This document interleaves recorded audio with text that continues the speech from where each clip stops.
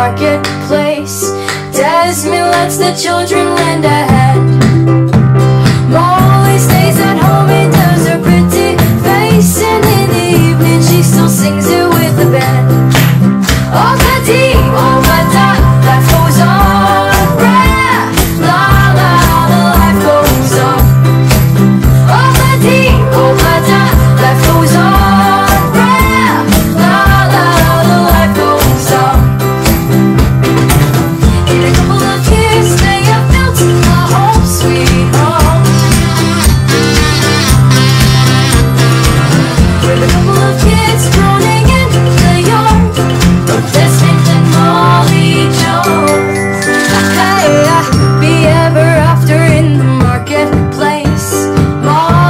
the children lend a